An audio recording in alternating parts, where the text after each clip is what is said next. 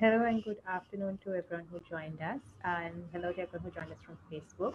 My name is Anasha Ekanayake, and I will be moderating the session for today. Uh, so today is the second of four workshops that we have planned for the week, and today we'll be focusing on climate and disaster management. We have an excellent lineup of speakers, uh, but before we move on to them, just a few things I would kindly request all of you all to do. So first of all, please do keep yourselves muted at all times. And second, uh, we do have some group work happening later. So in order to uh, better facilitate that, I would like to request all of you all to rename yourselves on Zoom. So have your name and country. So basically you just hover your name on Zoom under participants, click on more, and there should be an option saying to rename. And uh, finally, there is a registration form like yesterday for those who joined, uh, just to get an understanding of who's joining the call that I've also linked on the chat. Uh, it would be great if you could fill that out. So to start off today's session, I would like to now invite Dr. Sunimal Jayatunga, the Additional Secretary to the Ministry of Environment of Sri Lanka, to make his address. Dr. Jayatunga. Uh, Sanasya, um, thank you very much. And good afternoon to uh, everyone and also good morning who are joining from other part of the world. Um, first of all, um, uh, let me appreciate uh, SLYCAN Trust for inviting me and also giving this opportunity to speak on climate and disaster risk management uh, forum and to share the Sri Lankan experience in, in this regards. Uh, as you all know that um, climate change adverse impact meaning it's a risk for uh, socio-economic condition of the people as well as to the environment. Sri Lanka being a tropical island in the Indian Ocean, it is highly vulnerable to adverse impact of climate change, especially um, prolonged drought situations in the dry zone and also uh, uh, intensive rainfalls affected as um, flash floods and landslides, flash floods in uh, lowland areas and um, landslide in the highlands. And also um, sea level rise, though it is an uh, onset event, but it is um, badly affected for the for the country. So in terms of um, climate vulnerability, Sri Lanka is Sri Lanka has been ranked uh, as the sixth uh, most vulnerable country in the world by the Germanwatch. So uh, just a country in the world. so in order to identify the climate risks and also to manage the uh, the climate and the disaster risks we know we should have to have uh, uh, to identify the risk and the vulnerability in the vulnerability or the risk of adverse employment to conduct. Yeah, could you hear yes. me? Yes, Dr. Jayatunga, I think um, perhaps we could you could continue. I think you might have to turn off your video because the connection isn't very clear. I, may I off it? Yes, yes. Okay, thank you. Now it's okay? Yes. Yeah, yes. thank you. so um, what I was um, highlighting is that in order to identify the risks uh, of uh, climate adverse impacts, so we need to conduct um, vulnerability assessment. In Sri Lanka, we have conducted so far three, four vulnerability assessment. The first one was conducted in 2009 and 2010 and that time we were able to identify the, the as the most vulnerable sectors, uh, five sectors. So um, afterward, uh, we have conducted the vulnerable assessment for the uh, second national communication. Also 2016, we have conducted or even updated the vulnerable assessment we conducted in 2009 and 10. So the fourth vulnerability assessment uh, we conducted for the uh, third national communication. So the, the, the experience conducting or identifying climate risks um, is we have four vulnerable assessment conducted. So um, the, the, the, the, the most challenge is how to manage the, the risk or the vulnerability uh, pertaining in uh, Sri Lanka as well as in other countries. So in order to um, minimize the risk, we, in fact, in Sri Lanka, we have prepared our national adaptation plan to be implemented between 2016 to 2025. So under this um, national adaptation plan, we have uh, incorporated many uh, adaptation measures. So those adaptation measures especially uh, helps to reduce the risk of um, the vulnerability. Uh, among those activities, if I categorize, um, the one thing is that we we have identified that there are um, many strata of the society they they don't have the the knowledge on uh, how to identify the vulnerability and how to identify the risk. So therefore we identified that uh, the wider spectrum of uh, awareness to be conducted to raise their knowledge on climate change and the other part is that um, capacity building. This capacity building is one of the actions that we have identified under the National Adaptation Plan as well as uh, nationally determined contributions. So under the nationally determined contributions also, uh, we have already incorporated um, eight sectors to build to be to build resilience to meet the adverse impact of climate change means that to reduce the risk of climate change adverse impacts. So uh, cap capacity building awareness, uh, we, we identified that one of the most important elements in order to build resilience so to minimize risk of affecting uh, adverse impact of climate change to many sectors, many areas, many vulnerable communities. The other one is what we identified that there is a huge gap of data in order to identify the real vulnerability, in order to identify the real risk. So therefore, in order to um, manage risk of climate change, so it's need to have a very, um, how to say that, well uh, well established and well uh, very well updated database.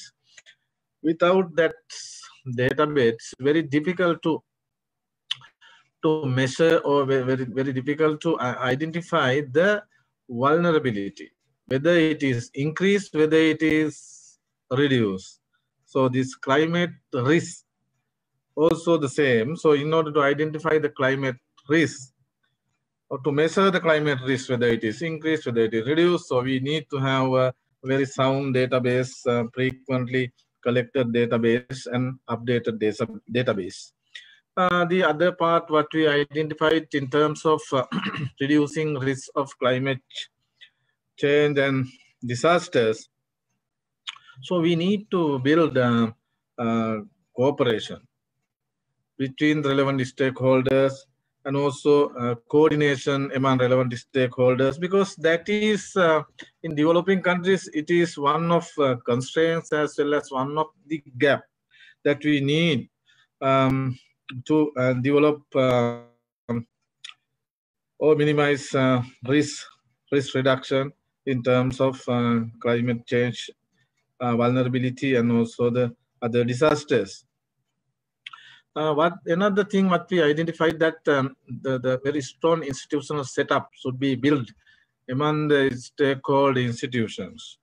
And also the policy strengthen in terms of in terms of uh, building resilience to meet adverse impact of climate change because the the vulnerability is increasing day by day. So therefore um, identifying the most potential policy, policy guidance, policy, policy options, as well as very strong, very, uh, very productive, very um, implementable um, institutional setup should be established. Though those are the the main main or important elements of uh, risk reduction. And uh, in, in identifying this um, um, uh, this uh, need that the importance of having uh, those elements. So Sri Lanka has already uh, prepared our uh, national adaptation plan as well as uh, nationally determined contributions to build resilience to meet the adverse impact of climate change, reducing disaster risk reduction. In fact, this is um, very um, uh, how to say in nutshell. So how that uh, disaster risk reduction is managed in Sri Lanka. In Sri Lanka, you know, um, we are the national focal point to the United Nations Framework Convention on, on Climate Change.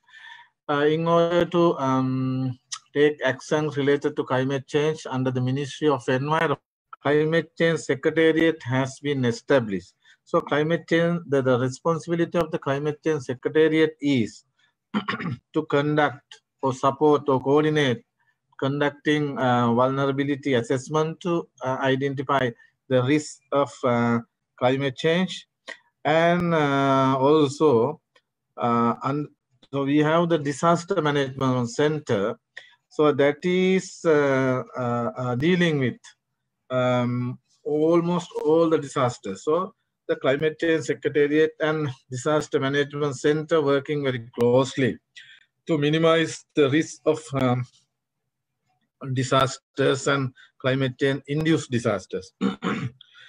um, one more thing, in order to manage the risk, what we identified that early warning, early warning systems to be established, and also that risk transferring mechanisms to be established. So those things are at present we are implementing as well as those have been incorporated to our uh, national adaptation plan as well as uh, nationally determined contributions and, and the, the adaptation projects which are implemented at present in the country. Uh, in addition that, uh, if the time permits, I will take one or two minutes to say that uh, we have already uh, identified the need of um, uh, establishing or preparing provincial level uh, adaptation plans. So we have already initiated um, identifying the vulnerability of um, different uh, provinces. In Sri Lanka, we have nine provinces. So we have already initiated, we have conducted series of workshops and con consultations with relevant stakeholders to develop provincial adaptation plans incorporating uh, climate risk reduction actions. So thank you very much um, for giving this opportunity for me. I hope uh, I covered not all, but it is uh, with the limited um, time. So I will conclude here and I take this opportunity once again. Uh, thank to the um, SLYCAN Trust for organizing this kind of um, information sharing sessions because this is very much useful for the uh, for the countries who have the experience on uh, risk reduction, uh, risk, risk management activities um, uh, undertaken to uh, build resilience to meet the adverse impact of climate change. And thank you uh, very much. Thank you, Senashia, for giving this opportunity for me, and thank you very much. Thank you very much, Dr. Jayatunga, um, and welcome to everyone who's uh, joined us newly. Uh, just to let you know, before we move on to the next presentation, kindly do fill out the registration form. I will drop the link on the chat again, just to get an understanding of uh, who's in the call. Uh, so thank you very much again, Dr. Jayatunga. Dr. Jayatunga is the Additional Secretary to the Ministry of Environment of Sri Lanka. I would now like to uh, travel across continents to Egypt and ask Mr. Osman, who is the head of the Global Environmental Management and Economic Sustainability Advancement Sector, uh, to uh, make his address. Uh, thank you uh, so much. Uh, in the beginning of my uh, speech, I'd like to thank uh, Vositha and the project team for inviting me to address this important topic for our uh, developing countries. Uh, my speech will focus on the barriers for climate change adaptation and risk disaster management in Egypt. Um, um, uh, as a background uh, for the participants, Egypt uh, landscapes, people, and the economy are highly vulnerable to the ongoing impacts of climate change. on our northern border with the Mediterranean Sea, the country's Nile Delta is witnessing the climate change induced impacts of erosion, inundation, and saltwater intrusion due to the sea level rise, uh, which impacting uh, its fertile agricultural land, coastal cities, with high population density, uh, tourism industry, ports, and the transport networks, etc., will be impacted. Uh, national uh, development across sectors is challenged by the increasing frequency, intensity, and magnitude of extreme weather events such as heat waves, uh, flash floods, and heavy precipitation, as well as sand and dust storms, uh, because we have uh, big desert around the, Nile Valley, uh, and we consider as one of the most arid countries around the world. Uh, these impacts are compounding the related challenges of declining freshwater availability, steady population growth, and rapid urbanization. Uh, therefore, Egypt's ability to respond to these impacts is challenged by low technical capacity for adaptation planning and uh, limited inf information on climate risks and vulnerabilities. Uh, the main barriers that identified by uh, our um, uh, stock taking while we were preparing for our uh, national adaptation uh, plan uh, was that the first barrier was the availability and the accuracy of climate change risk assessment. as most of the participants know, reliable, consistent, and complete meteorological and socioeconomic data is the foundation for climate risk assessment, monitoring, and risk reduction.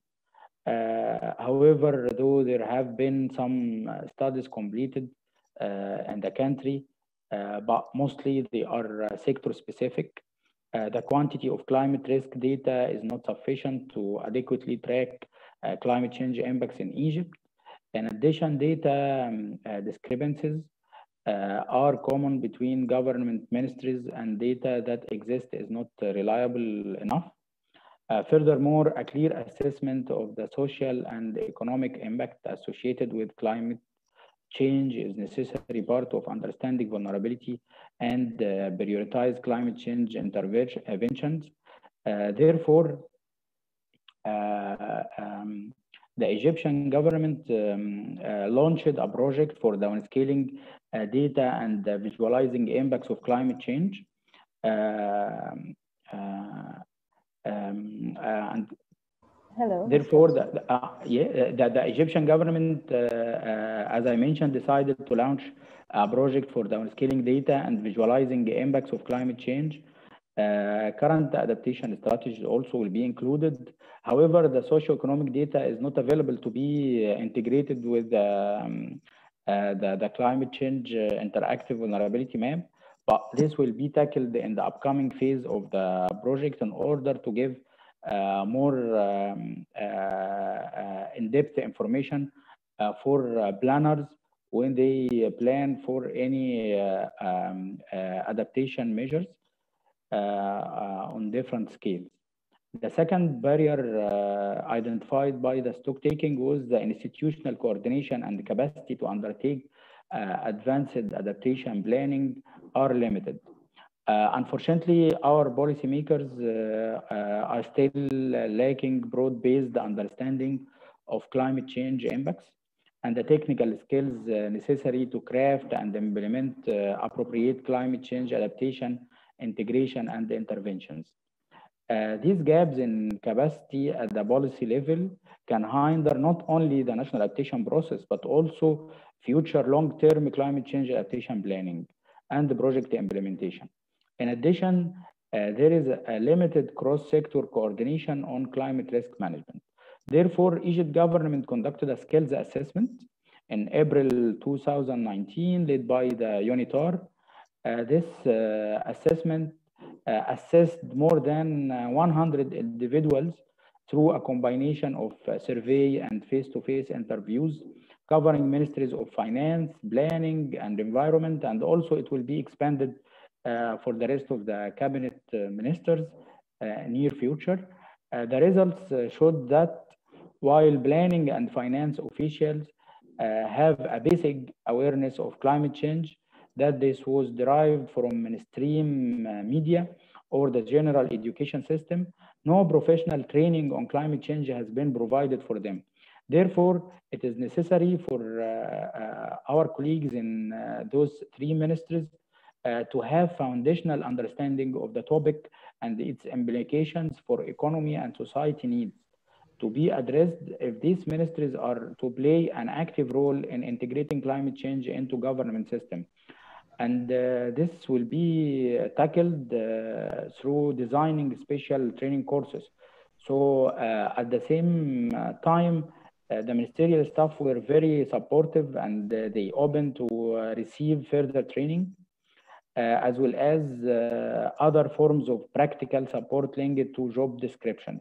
Therefore, uh, one of the policy outcome-driven approach to, tra to training design Uh, is recommended to support uh, uh, the staff of ministries of um, finance and planning.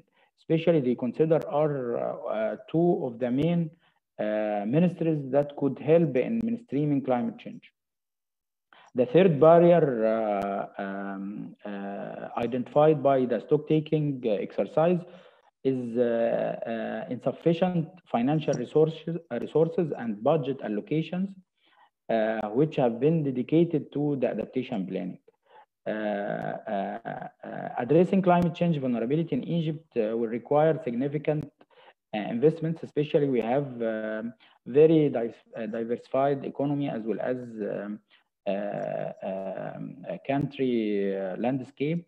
So in order to align budgets and mobilize funds for climate change adaptation and mainstreaming of climate change adaptation into national planning uh, level sector budgets and policies is needed. Uh, though this mainstreaming process has been started in Egypt uh, with the support of uh, some organizations such as GIZ, to date, the efforts has been slow. This means that sector budgets do, uh, do not yet align funding needs to climate change priorities. Also, funds that have been dedicated to climate change adaptation research in the past have not been managed in an effective way, especially in the agriculture and health sectors. Uh, overall, uh, public funds are uh, described as not sufficient to meet climate change needs and the national adaptation plan process is hoped to be able to identify and catalyze other funding options, including private uh, sources. Uh, specifically, uh, the private sector is largely unaware of the risks posed by climate change in Egypt, and there is a room for further sensitization of this group through the national adaptation process. Uh, uh, finally, the stock taking uh, exercise identify also the lack of a holistic approach to adaptation planning as one of the barriers. Uh, so addressing uh, climate change vulnerability and adaptation efforts in Egypt to date has been focused on specific sectors, uh, particularly agriculture, water resources, and coastal zones. Uh, in the past, uh, some regions, particularly the North Coast and the Delta in the Mediterranean region, have received more media and funding attention than other regions around the country. And this is because of the threat of sea level rise and the fact that these areas have been hit by extreme weather events.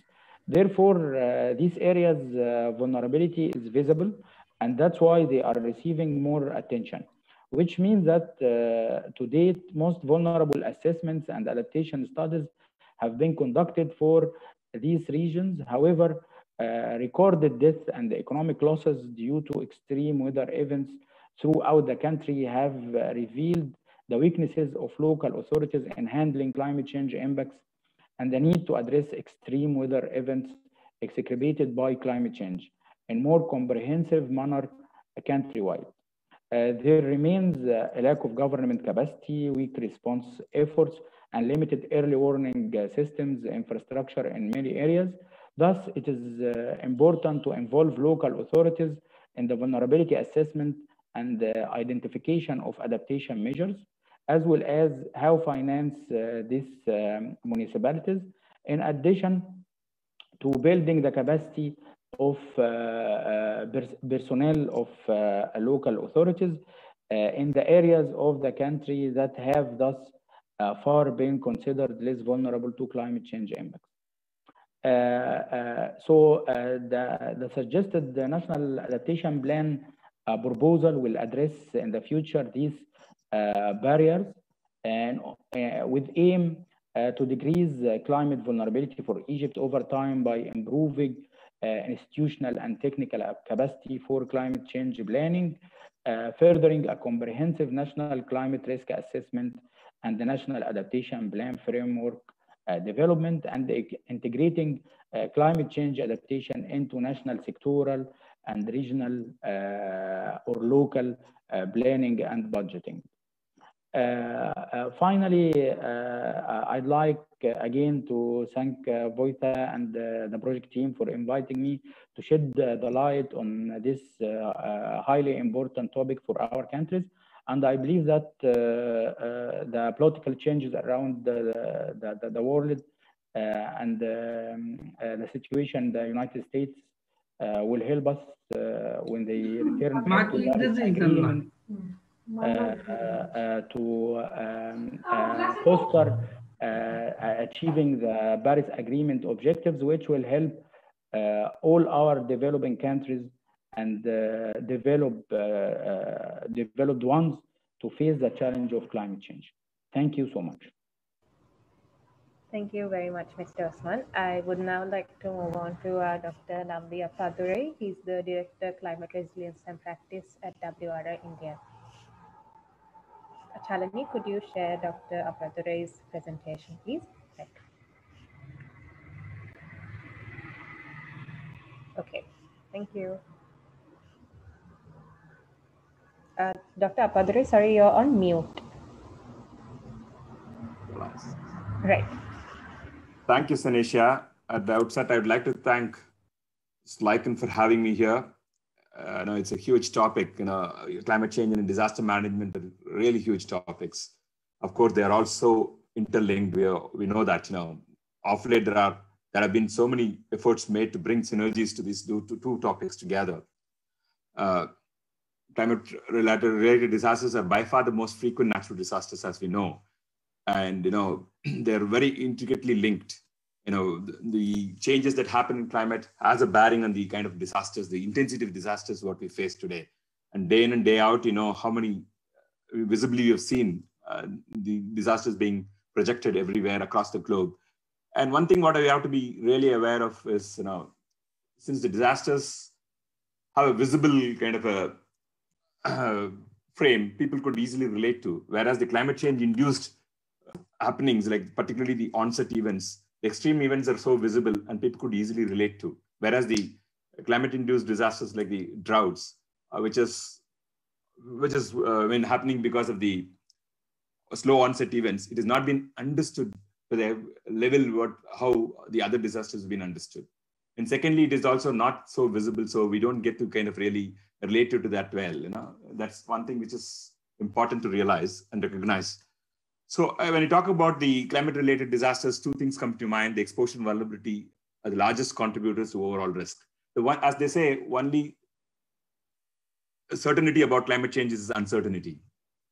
So no, we have to battle with that. There's unless you can, can translate this uncertainty into risks, we can't really bring out any actions. So it's important to recognize that and every of our, all of our efforts to be focused on converting these uncertainties to a, some reliable, uh, to bring it to a reliable risk framework so that we know where the risks are, what is the intensity of risks, and how they're going to really manage those things. Move, please. Next slide, please. So this is a simple diagram, very traditional one. The first part of my talk is somewhat, you know, whatever projecting is a kind of common knowledge. You know, it's nothing new, but it's provides a kind of context. That's the reason I'm just uh, flashing these slides. You know, one of the things, you know, the nat- climate is governed by both by natural variability as well as the human-induced, you know, changes in climate. So uh, this pretty much governs the whole climate. And secondly, the disaster risks are pretty much dependent on the vulnerability, the kind of vulnerability, uh, the intensity of disaster risk depends on the kind of vulnerability and the exposure, uh, what we see on the ground. And the, uh, off late, development is very much, you know, uh, they say good adaptation is good development. So good disaster risk management is also good development. So we should bear in mind that these are all linked and there is a kind of iterative process. So one should also recognize that so that it helps in planning Next slide, please. So oftentimes we think you know climate extremes are only one of the factors that affect risk, but are, there are several layers of vulnerability, as you understand. You know, population explosion, exposure of people and assets, the, the intensity of the poverty, what you see, and the rapid urbanization which is taking place uh, today across the globe, and the environmental degradation are all uh, these are key determinants of risk. So we cannot isolate and say, you know, uh, risks are that, that's the reason it's also difficult it's becoming very difficult for us to plan and execute certain things in the actions at the ground level. And changing hazards and needs and characteristics of hazards have changed you know over a period of time. It depends on the kind of geography we are dealing with. If it is a coastal area the risks and disasters are slightly different from what we see in a plain area you know so hill in a hilly area or something so it's important to recognize that because all the planning should flow out of that, that kind of understanding and the knowledge what we have, depending on the kind of geographies we work with. So there is no doubt there is a enormous strain on the public resources today because of the frequency of the disaster. I don't, I'm not going into the numbers, you know, there are several studies available today in terms of the kind of intensity and what are the kind of, you know, impacts it creates, the costs of those uh, in terms of the lives and livelihoods, you know, uh, it, it is, you know, imposing is enormous. So there is a you can't add add a value to those things, but still people have attempted to do that to kind of you know uh, give a sense of what it is all about. Next, please. So there are different kinds of disasters. You know, as you know, uh, there are here we have categorized about four or five types of disasters. Like the uh, hydromet disasters, ecological disasters, chemical disasters, geophysical disasters, and biological disaster, which we are experiencing today uh, the past one year, you know, what you see in the form of COVID uh, is, a, is a kind of attributed to these, it could be considered as a biological disaster. Again, the first two important you know, categories, that is the hydromet disasters and ecological disasters, have a, lots of relevance to climate variability and change, what you see. So it has a direct impact, and these are the two things which we been, should be worried about. And also, it's oftentimes we also come across these two kind of disasters, which is more visible and which has a greater impact on our lives and livelihoods. Next, please. I'm, I do not want to go through the entire set of things, you know, but uh, it's okay just to give a flavor of it. The impact of climate change in relation to disaster risks, as I told you, the synergies are beginning to kind of scratch the surface, try to understand. When you talk about the climate adaptation community and the disaster community, the disaster risk management community is far advanced because they've been working for a long time and they are now, we are coming to senses, uh, our own senses in terms of the adaptation very recently, maybe a couple of decades we have invested more time and energy on that. So there is so much to learn from the disaster management community as such, you know, whatever they learned uh, is still applicable to the climate change adaptation context. So it's vice versa. This exchange of information is very critical. That's why the two communities have, have to come together to work together.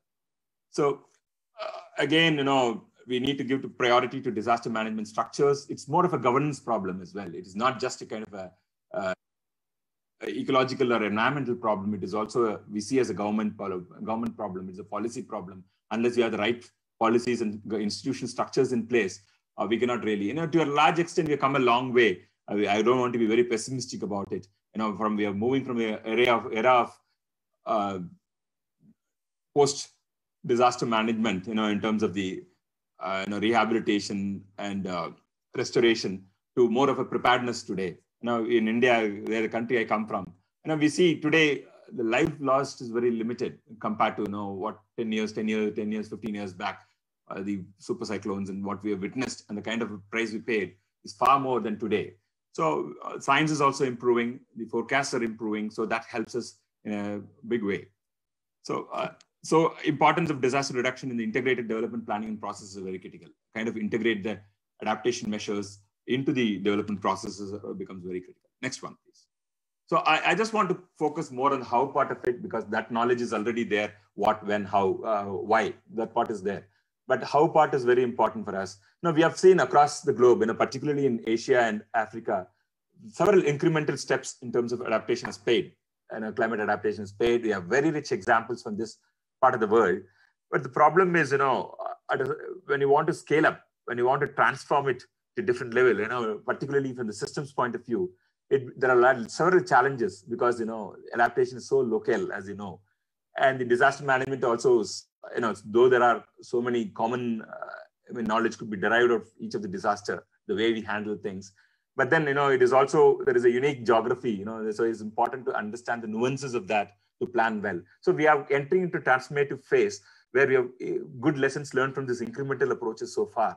But what it ought to be, you know, in terms of transformative the systems perspective, you know, because a dent in one place could affect in a different way the other place. So it's important to understand holistically that holistic perspective is missing and it is uh, for us to kind of really for us, for that to happen we need to have a good understanding of the vulnerabilities that is the first step in the process to unless you have a good understanding of the vulnerability both of the speakers before me you know prayer speakers have outlined the importance of this and what their country countries are doing with respect to those vulnerabilities so that is a good starting point to gather that kind of information and build on it uh, to have a good robust system established next next slide please so go ahead to the full swing. You know, there are bits and pieces. You know, yeah. A couple of more press. Press the enter button twice, please. Yeah, that's it. So there are two important critical aspects of it. One is the more specific information. Today, information is very key. You know, we have come a long way in terms of the uh, providing the climate information services. So information holds the fort really. You know, it is important to write information at the right time helps to kind of you know thwart any kind of disasters and help to a large extent in terms of you know managing these disasters. Same thing with you know uh, more the time you have, better you could plan for the risks. But unfortunately, that is not the case. So you know preparedness is very critical depending on the kind of information flow we have. We have kind of mastered over this weather forecast for the short-term weather forecast. In large to a large extent, you know across the globe we see lots of improvements happening there, and you know in terms of be it farmers advisory or a cyclone evacuation. We have uh, really done a good job. But then, you know, uh, in terms of seasonal forecasts, particularly in a tropical setup like India and Southeast South Asian countries, it's very difficult, you know, because tropical weather is very difficult to understand. So there is an element of this thing. We're still science is really working on it, and you know, science is advancing. But then climate change, uh, which means you know, decadal kind of you know, uh, uh kind of forecast, uh, to some extent we could only provide some pointers. We cannot be concrete about uh, the kind of a I mean, solution what we have for the climate change. You know, so this is the frame in, within, within which we should look at and organize our information in a way that we could really manage the disasters and the uh, climate variability in a better way. Next, please. A couple of more slides. You know, yeah. So there are several complementary approaches. You know, what we learn from climate change adaptation also applies to disaster management things. You know, these are small steps. You know, to manage climate uh, disasters, bigger disasters. So we have to have the fundamentals, you know, organized in a way that you know people could relate and you know work with. Uh, that becomes fundamental. Uh, in simple words, building resilience is very very critical at every level. You know, be the institutional resilience or the you know the community resilience contributes a lot for managing disasters very effectively. There are certain trade-offs, but we're not, one has to be really cognizant of those trade-offs uh, to come out with good plans. Next, please. So you know, now we have multi-hazard early warning systems, you know, for different uh, kind of disasters. We have different kinds of early warning systems which are working. Uh, but you know, nevertheless, you can't say across the board the capacities are there to provide that kind of you know very nuanced information today. And uh, we start with the national risk profiles, as I indicated. That becomes very important. Unless you understand the risks and vulnerabilities, you cannot go ahead and provide a good policy or a good ground level action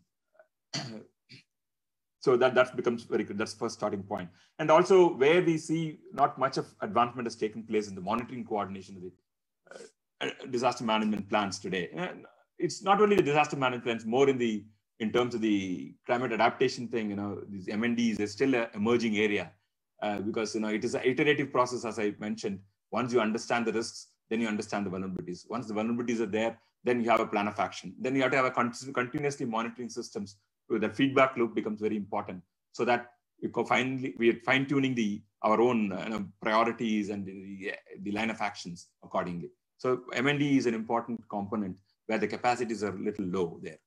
And yeah, capacity building, I can't emphasize enough on the importance of that. Next, please. So uh, one of the questions that comes to our mind is, you know, we always talk about the early warning systems. How early is the early? You know, how good is the early? Uh, you know, that that becomes a difficult task. You know, to a certain extent, in a short-term uh, forecast, we could we are really good at it, as I mentioned early uh, earlier. Uh, but then, you know, still a long way to go. Uh, that is where the science comes into play. Robust science helps you to understand the effects of it, not only the impacts, but also the both the cause and effect of it in a better way. So we are also moving into the people-centered EWS. There are so many successful stories across the globe today, uh, but still uh, there's much to be wanted because it is not you not see uniformly people adapting to that. You know that that's a huge question there. You know some of them are very advanced in it, some of them are not, depending on the kind of you know because capacity building is a function of you know uh, finance, technology, the I mean, social capital, a lot of other things are there. So unless you get all those things organized, it's very difficult to kind of act upon those early warning uh, information what you have. So midst of the crisis decisions are not good decisions, as we all know. This is a very commonsensical, but it is important. And we are moving away from those kind of approaches today. And uh, research, as I mentioned, research, robust data, innovation and learning are key to this process. And there are, of course, there are some trade-offs between short-term and long-term long-term impacts because today's adaptation becomes tomorrow, it becomes maladaptation. So that's how it's moving at a fast, rapid speed. So one has to really acknowledge that fact and move along with that. Next, please. A couple of more slides. I'll just finish it. Next, please. Yeah, what do you mean by people-centered early warning systems? There are four important components to it. One is risk knowledge, because particularly when we talk about adaptation disaster, it is very, you know, a sense of history is very important. Now, how people have managed in the past those kind of, you know, any extreme events or something. So that knowledge has to be factored in. We cannot design anything which is very unique because the cultural aspects are also embedded in those decisions. So one has to recognize that. And warning services, we have improved a lot, as I mentioned earlier. We have different technologies it uh, comes to aid uh, to provide the kind of information, the right information to the right people today. And dissemination to a large extent is also very, very key, outreach and dissemination. We have really come a long way in those aspects. You know, technology really has helped us uh, from uh, announcing this about disasters through a loudspeaker Today, people use mobile phones and whatnot, the apps that are very handy today to understand, to provide that kind of a timely information. And the response capability is also quicker, but still a long way to go because we have to really uh, cover a large ground. It's the institutional responsibilities are also critical. Either the institutions are in place, the institution arrangements are really you know, up to the mark uh, to, um, to kind of uh, assimilate this information and provide that kind of a knowledge to the communities extension services particularly uh, play a very critical role in this process. Next, please. So this is, a, again, repetitive slide. I'm sorry. Next, please. Yeah, this is the final slide. I kind of feel the importance is uh, there are four elements to this whole thing, evidence-based research. You know, we have to build on that. We need to really have gather good evidence, what worked, what didn't work. Oftentimes there is a institution failure. And I see a lot of, you know, institutional memory, uh, particularly in a country like India after tsunami. We have done a, an fantastic job, I would say, you know, given the kind of, an, it's an unknown factor, though it does, doesn't have any connection with climate change.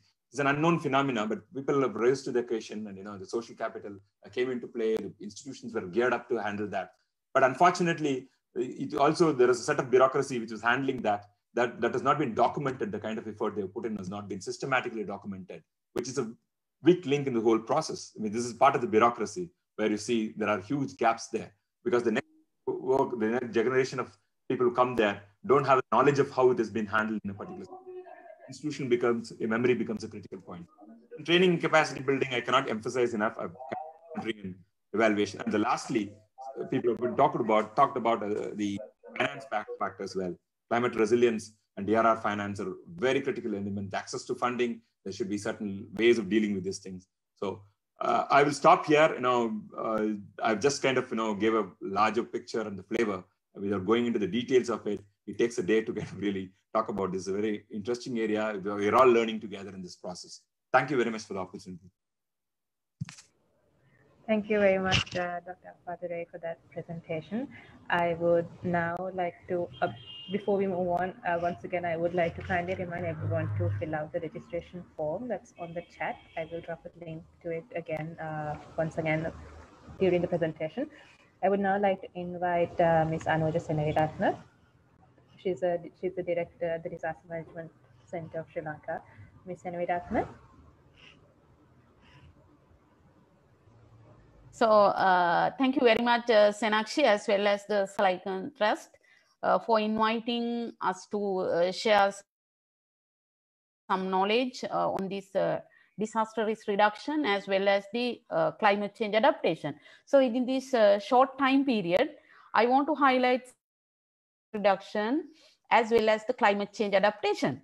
So basically, when we consider the climate change, it is uh, the frequency and the severity of hydrometeorological hazards when we uh, analyze our databases the the uh, the, the clear uh, increased trend in this uh, extensive type as well as intensive type disaster gradually this climate change also increase the vulnerability. The hazard increase is there but the vulnerability increasing of the risk. So that uh, the gradually this climate change also increase the vulnerability as well as example with the sea level rise the people living in this coastal area their vulnerability is increasing. So and the exposure as well. So then risk is increasing dramatically the climate change uh, another point what i want to highlight is that the new risk will generate so in the sendai framework for disaster that the generation of new risk. Uh, due to this climate change, uh, with our understanding that new risk are new risk, this uh, new risk are not known to the people, particularly because of these regions, these regions, uh, the dynamic pressures are increasing. So then the the dynamic pressures with the uh, uh, hazards uh, happen in the environment, then there are some damages and losses. So then the we call that uh, the risk tolerate that. So anyhow, with this dynamic pressure, it will create that capacity to adapt as well as the and exposure to the weather related hazards. So all these three factors are increasing. So then uh, another have to consider uh, is that the, uh, the, the prices of the crops and the livestock market. So we are experiencing uh, very extreme events. With that, our harvest will change and will, uh, I mean, the prices of crops and livestock market and the environment and economic migrations and then the count are also uh, indirect factors need to be considered during this climate change and uh, particularly with the disaster risk reduction activities. So when we consider the disaster risk reduction and the climate change are not two things actually. These are very similar and uh, so mainstreaming into the development is the sustainable way to achieve the climate change adaptation as well as the uh, disaster risk reduction. So development is the common platform so that uh, to achieve these uh, two targets, that is disaster risk reduction as well as the climate change adaptation, uh, what we need to do is that we have to mainstream it into the development in a sustainable way as these three things are mutually reinforced each other. So climate change adaptation mutually reinforce the disaster risk reduction and all these two uh, tiers are reinforcing the development. So without these two factors that climate change adaptation and the disaster risk reduction, we can't have the uh, sustainable development. So sustainable development will shake if we can't achieve these two things. Then another important factor what I want to highlight is that the strong connection in this climate change and the disaster risk reduction, it could support to reduce the losses of climate related hazards. Uh, so that uh, we have to focus on the risk and vulnerability assessment. So it is very important. So we have to discuss the vulnerability assessment as well as the risk assessment. Now, most of the time, as per our experience, uh, without considering the risk, we are uh, using the hazard, considering it itself as a risk. But we have to understand based on this level of hazard, uh, uh, and the level of the vulnerability or the scale of the vulnerability based on the characteristics of the element at risk, uh, the risk of this particular hazard will be changed. So when we are implementing the disaster risk reduction activities, we have to address really the risk, not the hazard level. So if the risk is there, then we have to evaluate the risk and then we need to prioritize the risk reduction measures, what we need to uh, implement based on our capacities. So then the next one I want to highlight is the DRR, disaster risk reduction. It will benefit uh, long-term perspective uh, for the climate change adaptation and it is uh, emphasized on the adapting and underlying uh, particularly the, I mean the, the, the, during the vulnerability and uh, build the adaptive capacity. So basically this uh, climate change adaptation so uh, climate change adaptation, we have to consider the uh, level of vulnerabilities because it is the uh, human intervention factors of the risk. So that in the climate change adaptation, whatever the things we are doing, so we have to uh, pay more focus on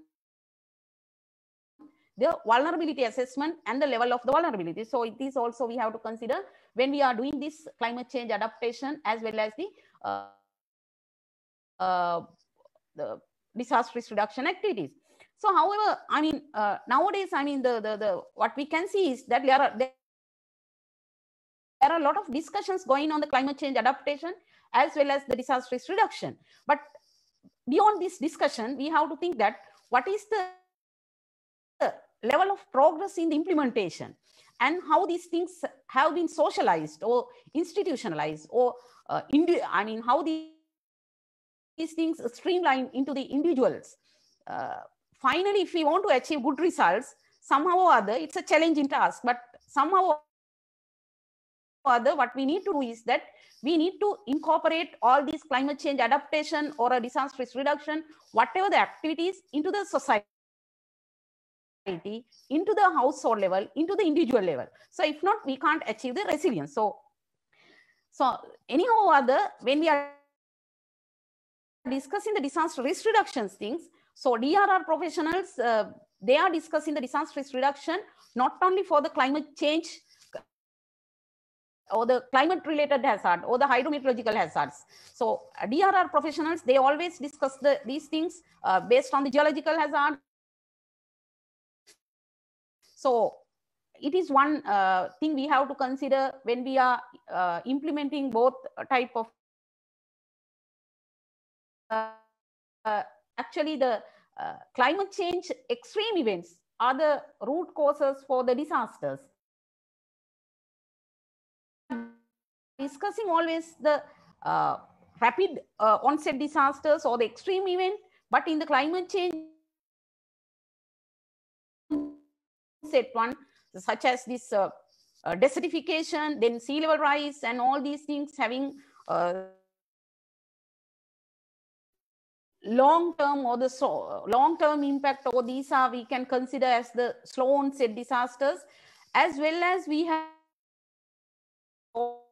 also incorporated into these type of disasters when we are uh, doing uh, some particularly as a developing nations uh, nations in this uh, globe because developed countries they should not want people emitting a lot of uh, greenhouse gases and the things but we have to consider that part also. So then drr we are, we always consider the current risk but in the climate change we have to consider the future risk as well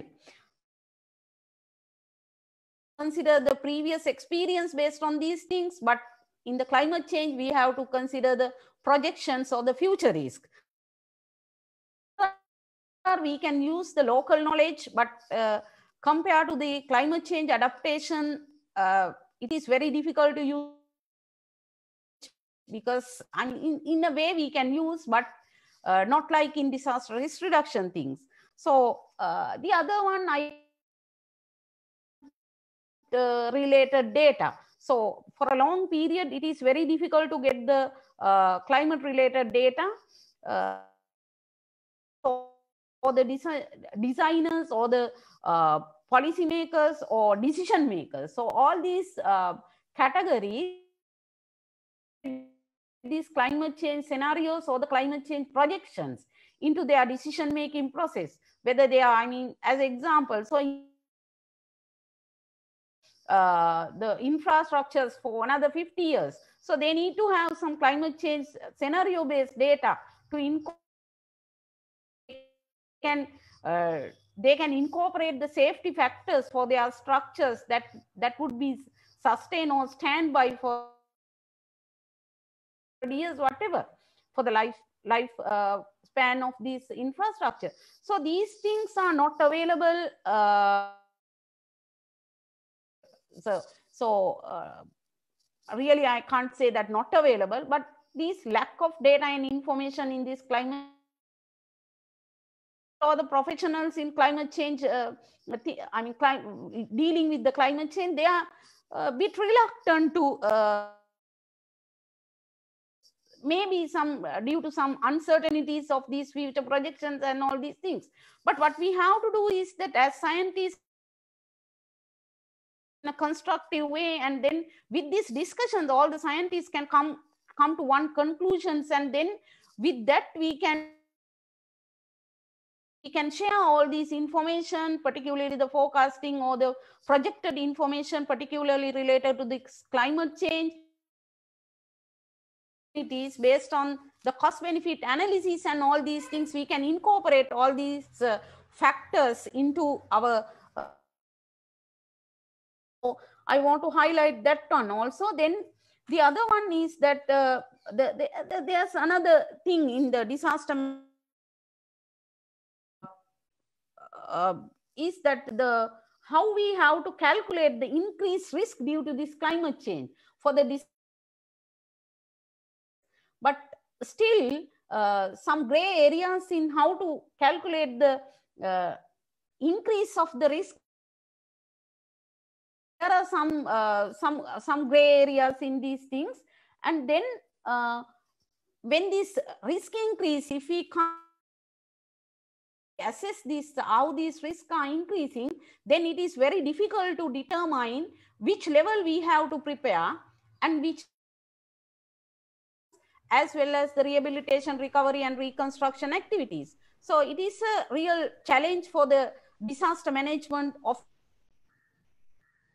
most of the countries who are facing who are more vulnerable to disasters or the extreme event of the climate change are in this uh, with that they are facing that using the limited resources how they need to what is the level of the preparedness for the emergency response uh, limited resources so they need that the particular very uh, uh, informative data for all these things Ms. so sorry i just wanted to check um, uh, my uh, uh, things so thank you very much uh, for your support thank you Thank you very much, Mr. Anviratna, for that uh, very informative uh, address. I would now like to uh, request Dr. Nafisa Ismail. She's the Program Officer, Knowledge Management Science and Institutional Affairs at APN to make a presentation.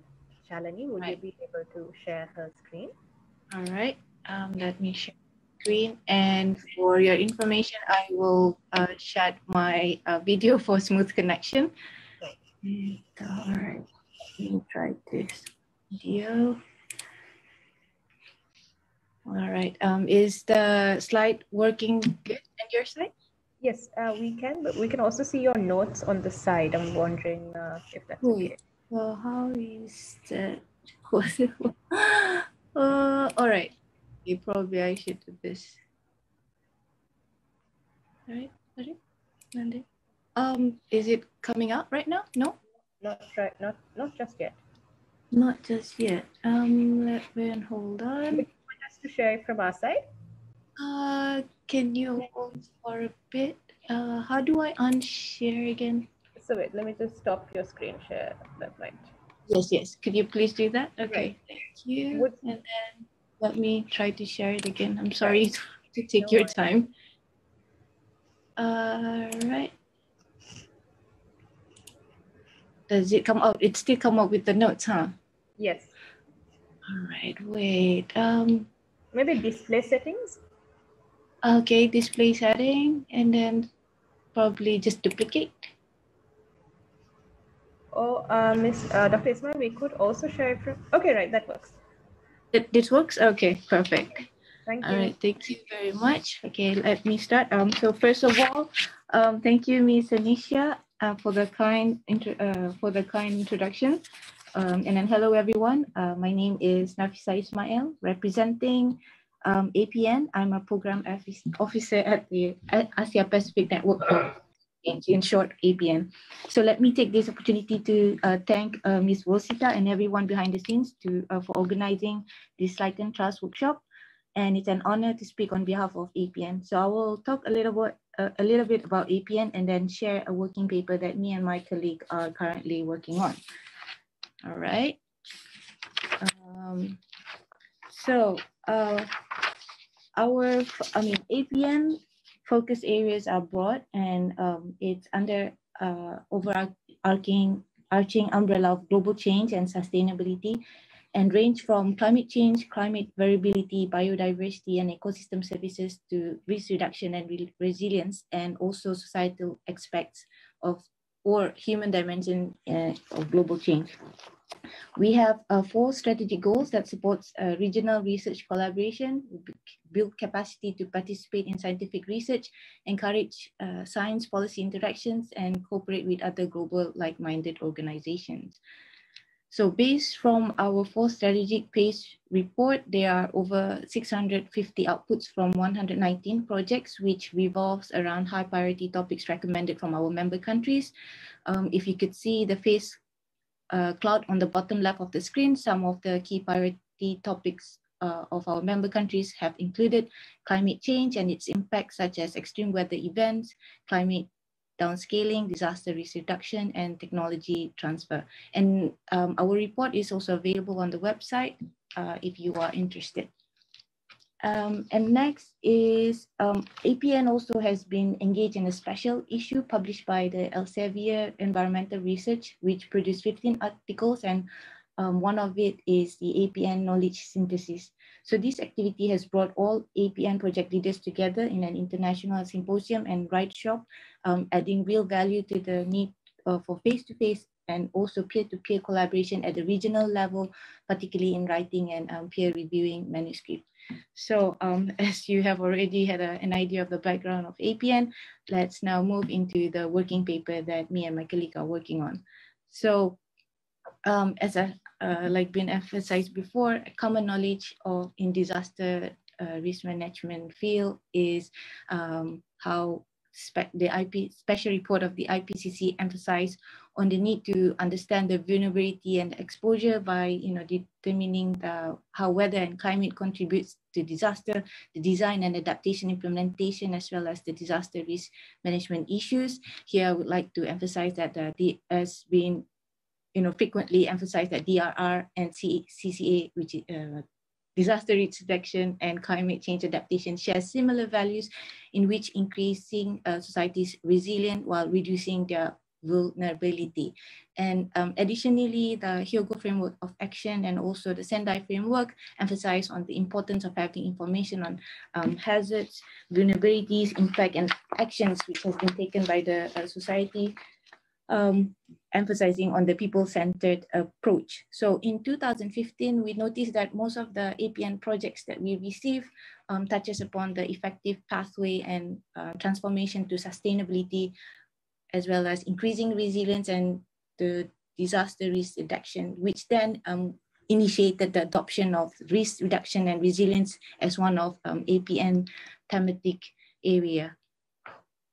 All right, um, going further. So now that we have some background of uh, information, background on the paper, um, I'll go to uh, quickly uh, a brief summary of the paper. So the paper is based around the uh, five-year progress review of the Sendai framework by uh, Professor Rajib Shaw and Dr. Riyanti as the editors. And for your information, the paper is still being written at this time of presentation. So the idea of the paper is to assess um, APN's climate change adaptation and also disaster risk reduction related project outcomes within um, the, the framework of the Sendai, which is 2015 to 2020, and the impacts in the integration and also mainstreaming uh, how DRR is being mainstreamed into governance. Um, we want to present the readers with uh, relevant projects in the Asia Pacific, which contributes to the progress of the S, uh, to the Sendai framework, implementations by um, examining the project's key outcome by exploring these three points, uh, which is the main issues in implementing DRR in government in governance, the types of DRR measures um, produced and also introduced through the projects, uh, also the status of knowledge and information uptake among the target beneficiaries and stakeholders. Uh, moving on, um, I'll share with you the results of uh, our findings. Um, we gathered 20 project leaders to answer a 16 question online survey and all respondents are based in the Asia Pacific region. So uh, as you can see, most 47% uh, of them are from the academia and 33% of them are from international and regional organizations. And most of them are um, working on with, with the national level of uh, government.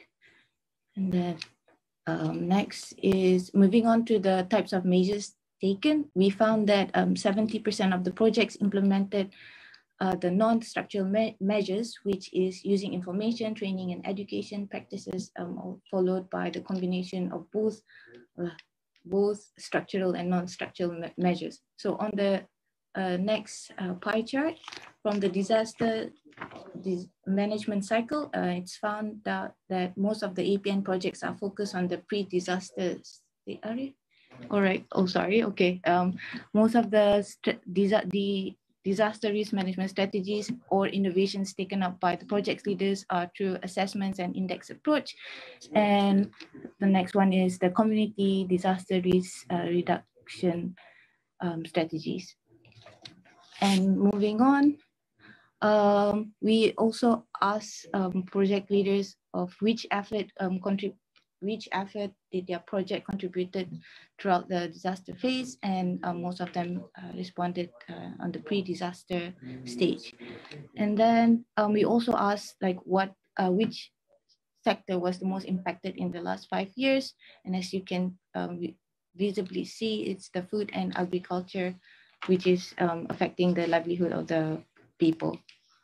Um, moving on to the next result.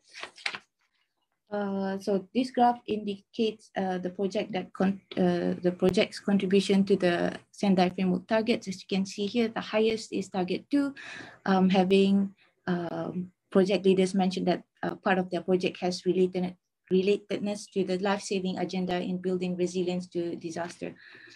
All right. Um, next is um, when we ask uh, project leaders about the level of contribution of their project outputs to uh, the Sendai framework on create, creation of a disaster plan, um, they mentioned somewhat uh, contributed. So these projects were running and completed during the first five years of the Sendai framework, which is 2015 to 2020. And also we asked them about the status uptake. Um, most of the project leaders claim that um, the results, I mean, the uh, uptake is about 40, 49, 40, 41%. Uh, moving on to the next slide, um, we asked, we also asked project leaders about what is the element for a successful DRR incorporation at the local level. And as you can see, the biggest word here is local. This shows us that in order to pave way to build back better and uh, to increase the resilience, stakeholders at the local level should be involved and empowered uh, to take action in disaster risk uh, management plan. So we also asked um, what are the key factors of uh, integrating DRR within and across sectors. Um, then it's no surprise that communities pop up as the main component in the uh, integration. All right, so uh, last but not least, um, we from the paper, we understand that, you know, um, acknowledging acknowledging multi-race environment where decision making uh, related to DRR is particularly complex and therefore it should be a combination of strategies. And in making um, pre-disaster response effective, uh, measures should consider both um, structural and also non-structural. Um, we also not, uh, understand that um, diversification of livelihood is also a kind of no regrets strategy that should be introduced to the local um, communities. Um, what we find um, challenging is in the implementation of DR, like being emphasized before by our distinguished speakers previously, is the lack of integration or also mainstreaming of DRR into development um, planning. And so DR, and therefore DR strategies can um, you know, be strengthened and mainstream across sectors by linking it um, to climate change adaptation. So the issues of DR governance involve levels of coordination and also coherence and should involve um, private sectors partnership. Um, lastly, um, what we found very interesting is that the results justify the needs um, to integrate uh, climate change adaptation and um, disaster risk management in achieving sustainable development. Um, with that, I finished my presentation. Thank you very much for your attention. Thank you very much, Dr. Ismail. Uh, we will now move on to Ms. Linda Siegele's presentation. She's a PhD candidate at the University College of London Faculty of Laws. Um, while uh, Ms. Siegele's presentation, uh, please do share uh, your screen. Also, I would like to kindly remind all our participants to, if you have any questions for the uh, panelists, please do drop them on the chat and also kindly do complete the registration form. Uh, the link is available on the chat. I will drop it once again. Um, right, the screen is shared. Miss Siegele, are you ready? Yes, I'm I'm ready. I, I will try sharing my video, but I may turn it off as well um, if if the connection uh, goes goes bad. okay, thanks. Mm-hmm. Okay. Um, this is the the the title of, of my presentation today. I, have been asked to uh, look at climate and disaster risk management through the lens of the Warsaw International Mechanism for Loss and Damage, which is an established me mechanism under the UNFCCC um, the UN uh, Framework Convention on Climate Change. So I'll really be focusing on the climate aspect of, of risk management um, and hope that this helps to provide a little bit of, of framing for those of, uh, of you who um, provided very rich uh, presentations on um, on what's going on regionally and locally. And first of all, I'd like to uh, thank Vosisa Vositha and SLYCAN Trust and, and the team for inviting me to provide this presentation. And, and I do hope that this framing um, will help us all um, work more closely together as, as a stakeholder group going forward. So what I wanted to do, and I'm a lawyer, so forgive um, you know me, me sort of quoting uh, chapter and verse, uh, on legal documents. But uh, these decisions um, under the UNFCCC are important and, and, and are significant to the framing of how risk management is handled um, in the, the climate change process. So even before the establishment of the Warsaw International Mechanism, a year before, parties uh, discussed what the role of the convention was in promoting uh, approaches to address loss and damage. And one of the central roles of the convention is enhancing knowledge and understanding. And this is a, an acronym, CRM, Comprehensive Risk Management. Comprehensive Risk Management is the terminology used um, in the loss and damage arena to, to look at how um, the elements of, of risk management uh, work together. So one of the central uh, aims of, of the of the convention is to enhance knowledge and understanding of comprehensive risk, risk management as it refers to uh, loss and damage in that context. Again, in, in this decision, um, parties were invited to implement comprehensive risk management approaches to address loss and damage. So this notion of CRM um, within the loss and damage uh, context is fundamental to addressing losses and damages from climate change impacts. And further the decision identifies areas requiring further work um, around uh, risk reduction, risk sharing, and risk transfer tools. So there's a recognition that we still need to know more. Certainly that was eight, nine years ago, but I, I don't believe that um, we, we still know all we should know uh, or could know uh, around these issues. Next slide, please. Next slide, please. Next slide, please. Thank you. So uh, just to just to provide um, some more legal framing for how uh, the Warsaw International Mechanism deals with uh, climate risk, um, the Warsaw International Mechanism and, and, its executive committee were established um, in 2013, and uh, paragraph five of that decision sets out the functions of the WIM. And one of the central functions of the WIM is to include the addressing of gaps in the implementation of comprehensive risk management approaches and enhancing action and support to, to enable countries to implement CRM approaches to address loss and damage. So again, um, risk management being central to addressing losses and damages from climate change.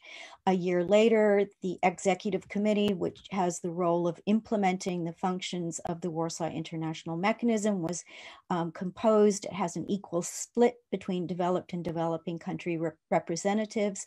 And one of the uh, decisions that year in 2014 was to allow the ExCom to set up subgroups to help execute its work. And, and one of the subgroups, and we'll talk a little bit more about um, that subgroup, is a subgroup or an expert group on comprehensive risk management.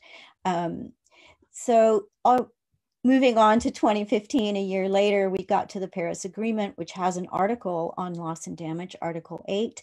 And this article um, allows the, the Warsaw International Mechanism in its work to be enhanced and strengthened and includes a number of areas of cooperation and facilitation that speaks directly to uh, risk management, including early warning systems, and we heard about uh, uh, that in previous presentations, emergency preparedness.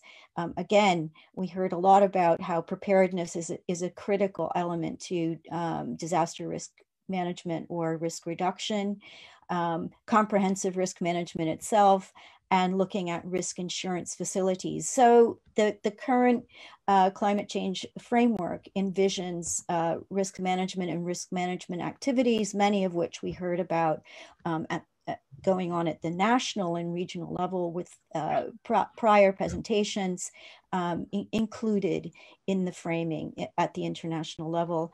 And, and finally, the uh, decision that adopted the Paris Agreement um, asked the ExCom to establish a clearinghouse um, for risk transfer, which has been done. Thank you. So let's look at a little bit at the work of the ExCom and how it includes uh, comprehensive risk management over the years. The ExCom, which is, implements the WIM, uh, has been working since 2015.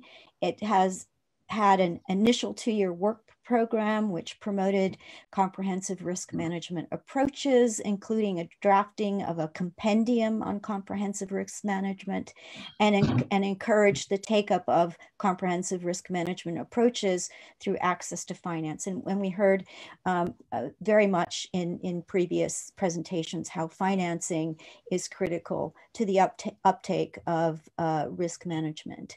Um, in the current five-year rolling work plan, the ExCom has a strategic work stream that is dedicated to comprehensive risk, risk management, and we'll talk about what the scope of that is.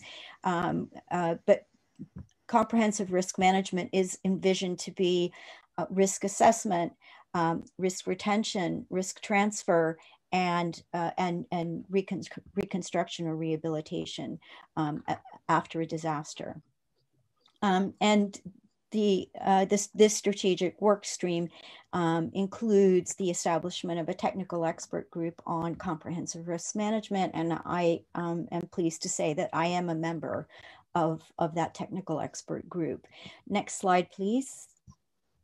So let's look at a little, drill down a little bit deeper into what this technical expert group on comprehensive risk management has done so far.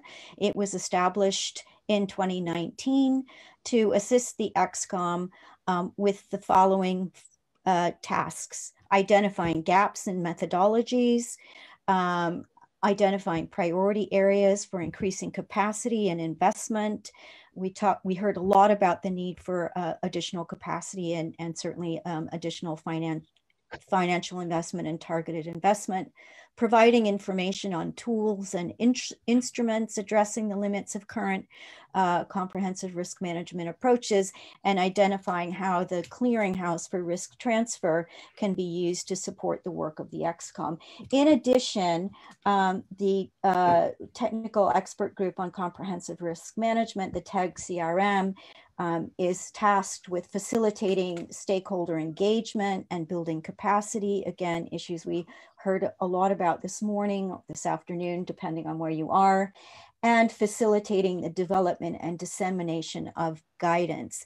And, and I think this is a, a key um, aspect of capacity building, certainly, and, um, and, and something that I think that, that I will take back to the TEG CRM um, based on uh, today's presentations that um, we potentially need to get better at communicating with local stakeholders and, and communities, um, which certainly came out um, in, in the APN uh, presentation uh, just now. Um, so the, the first meeting of the TEG CRM was on August uh, 29 in August 2019, and the and uh, the group uh, drafted a plan of action, and this plan of action was agreed by the ExCom a few months later in October of 2019. In the same month, there was a workshop um, held on strengthening capacities for climate risk assessment, um, which included um, issues around data gathering, which is another issue we, that um, that I, we've heard much about today. Um, and, and the outcomes of that workshop are available on the UNFCCC Secretariat website. So I encourage you to, to have a, a look at that. Um, the TEG CRM, given current situation um, with the global pandemic, unfortunately was forced to meet virtually in 2020, um, reviewed the work so far done under the plan of action and, and reported to the ExCom and the ExCom reviewed this the, the, the work uh, done so far um, in September at its latest meeting. Um, the way forward for the TEG CRM is to continue implementation of the plan of action. The plan of action has uh, deadlines for work to be completed um, this year. Um, so, so most of the plan of action should be completed um, by the end of this year. Uh, and the, the plan of action will be updated and added to um, where re relevant and required and, and, and where the ExCom um, has asked uh, for that to, happen. Next slide, please. Just to just to point out, and we heard this about cross ministerial um, integration and, and cross-cutting work uh, uh, amongst ministries. The, the CRM is a cross-cutting issue, and there are a number of other expert groups under the ExCom which are relevant um, and where the TEG CRM's work is relevant, and these are include the task force for displacement, which really looks at human mobility issues, um, the expert group on non-economic losses, and we heard uh, today lots about um, the cultural aspect of, of dealing with disasters and, and comprehensive risk management approaches. Um, we heard a, a, lot also about slow onset events. There's an, a, an expert group on slow onset events um, under the ExCom and a, a newly established uh, expert group on action and support, which looks at not only finance, but technology transfer and capacity building. And again, uh, key elements for risk management that we've heard about um, already this morning. And the ExCom has uh, a mandate now to develop a set of technical guides around each of these work streams, including comprehensive risk management and one of the contents of these technical guides is, is a section on risk assessment. Um, so keep an eye out for those technical guides. Um, they should be uh, rolling out um, this year and, and going forward, and hopefully these will provide useful information for um, for the for uh, practitioners at the national and, and subnational level. Other bodies under the convention, initiatives, and mechanisms uh, where the TEG CRM and where uh, comprehensive risk management is relevant is the Standing Committee on Finance, which liaises directly with the Green, Green Climate Fund and other aspects of climate finance mechanisms under the convention, um, the Technology Executive Committee, the the ExCom and the and the TEC worked on a joint um, a joint policy brief that looked at, actually looked at, at uh, coast risks of, uh, of coastal communities to, to climate change. Um, and, and just to, to give you a, a, a quick uh, overview of some of the institutions and organization out, organizations outside the convention that uh, the TEG CRM works with um, a number of UN agencies, and, and each of these agencies are members of the TEG CRM. Um, UNDRR, which um, uh, most of you probably know um, kind of manages the implementation of the Sendai framework, the um, World Meteorolo Meteorological Organization, which really does an awful lot these days with climate data, um, the World Food Program. These are just a, a, a, cursory list. There are more, the International Fed, Fed, uh, Federation for the Red Cross, um, Resilience, which is a, a German-led initiative um, that looks at, at uh, marshaling disaster and climate finance um, and, and delivery on that, and also has a, a, facility for answering questions on, on risk management issues, and certainly academia and NGOs, um, um, me being one of, of that group. Um, next, please. So I, am going to wrap up now because I know we're well, well, over time, but I wanted to just provide a few conclusions, uh, conclusion, conclusory mar- remarks and, and, and possible recommendations. And certainly um, these will these are these recommendations and my IDs have I have been enriched by what I've heard um, so far today. So from the outset, there's been a recognition that comprehensive risk management approaches are central to addressing loss and damage um, from climate change impacts. And, and we can see that even before the Warsaw International Mechanism was established, this notion that comprehensive risk management is central and that parties should be engaging um, in comprehensive risk, risk management approaches um, it was there. Um, the scope of work of CRM, and, and I, I, think it was really important um, uh, that one of our presenters brought out the, the notion that key risks vary across regions and so that these approaches will vary across regions and certainly also across timelines. Um, but data gathering is still central and, and I'm hearing that the lack of data is still a critical issue um, and, and without that data, doing uh, viable risk assessments is, is also difficult, but that risk reduction, risk transfer, and risk retention are also elements of, of how the, the international uh, community, the climate change community, um, envisions the scope of work of, of comprehensive risk management. And there are responsibilities all across um, at each level um, the international community, uh, as I have expressed, at least under the UNFCCC, has a, a, responsibility to look at comprehensive risk management approaches and to promote the impl implementation of them. Regional organiza organizations are certainly critical, and especially in, in in terms of of um, pooling uh, capacities uh, of developing country uh, countries in the region and, and also gathering and understanding um, the different types of risks and certainly individual countries and, and the Sendai framework is, is specifically um, focused on, on uh, country level activity. Um, the way forward, um, this is a, a, a, pretty uh, a small list, but the, the TEG CRM will continue to work, including in its uh, cross-cutting uh, capacity and we looked at, at, at where the work of the TEG CRM uh, cuts across um, uh, organizations and, and bodies inside and outside the convention process. And I, I think we're in a unique uh, point in time globally with this pandemic. Um, and, and that addressing climate change, disaster risk management, and, and recovering from the pandemic are, are, are efforts that I think we should, we must um, uh, embrace all at the same time.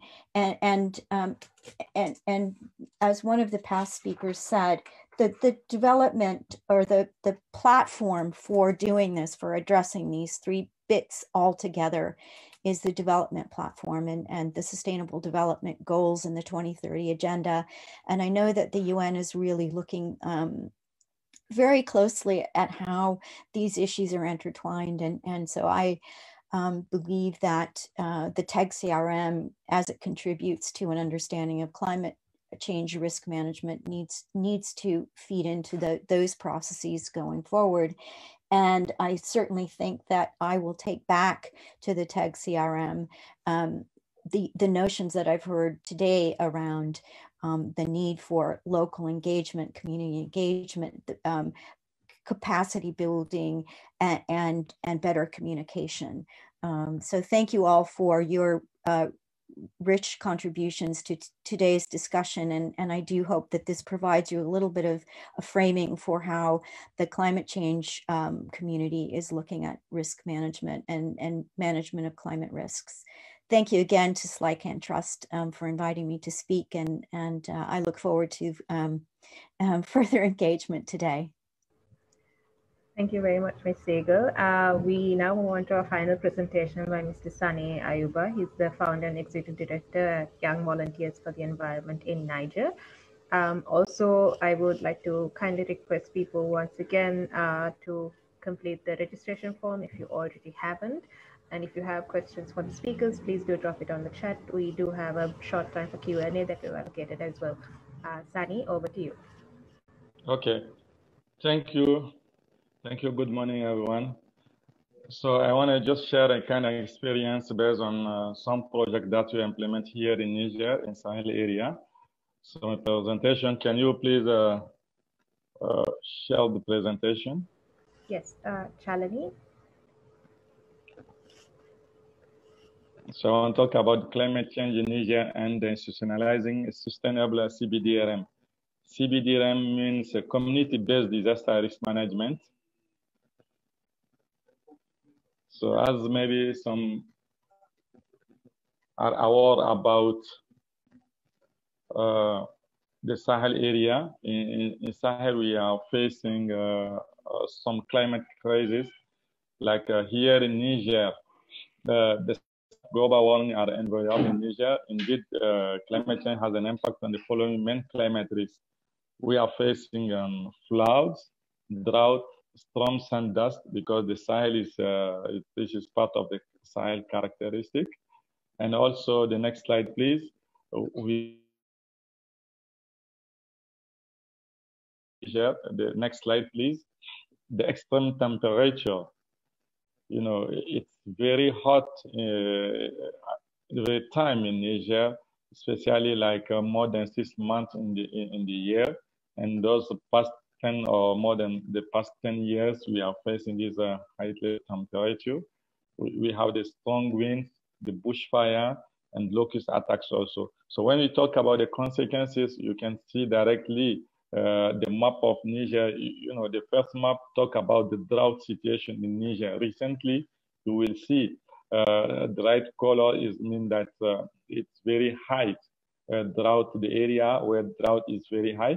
And uh, the second uh, map talk about flood in Niger. So you can see that the, the, country is like, even in the north of the country that uh, is near of the desert, we are facing uh, uh, several floods every year now, the past three years. Uh, the most important is this year we are facing a kind of flood that never happened in the country since the, the past 50 years. So uh, that's allow us to talk about the community-based disaster risk management. The next slide, please. So why, uh, when we talk about uh, the community disaster risk management, uh, why do we need it? Because the impact of disaster are most immediately and intensively. I think we might have uh, lost Sani temporarily. Um, maybe until he gets back, I would like to request if anyone has questions to drop it on the chat, and maybe we could uh, go in for a quick uh, Mentimeter break. So, till Sani comes back. Right, Sani. Uh, so, for those who are unfamiliar with the platform, please log on to menti.com and use the code 5949735. I'll just um, have it on now. Hi, Sani. Our connection issue. So sorry yes. for that. No worries. Uh, Sani, if you could just give us one minute, we just opened up a Mentimeter to maybe break some ice. So, uh, okay. Yeah. So we'll just maybe share that. So if you could see my screen, just to get an understanding where you're joining us from. So we have participants from UK, Sri Lanka, Indonesia, India, Japan. And we just keep it up for about 10 seconds more. Trinidad and Tobago, Bangladesh, UK. Right, and I'm just going to move on to the next question, uh, which is uh, how would you best describe your organizational affiliation? So whether you're a CSO, government organization, private organization, academia, or other. So for those wondering what's happening, please log on to menti.com and use the code 5949735.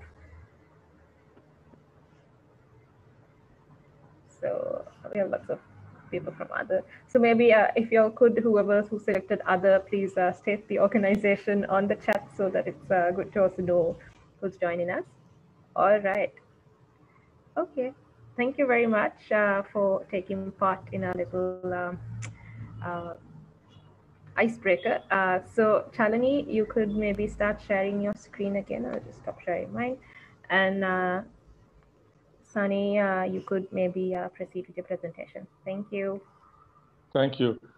So I'm talking about the, the need. What, why do we need uh, the CBDRM? Because, uh, okay, you can go to the, the fifth one. Yes. So the impact of disaster are most immediately and intensively felt at the local level. This is the first reason. Also, many of the most effective tools to reduce exposure to hazards such as land use, regulation, and enforcement of building code are at the local level also. The local level is where the basic environmental management and regulatory governance functions that are essential for effective disaster risk management are concentrated.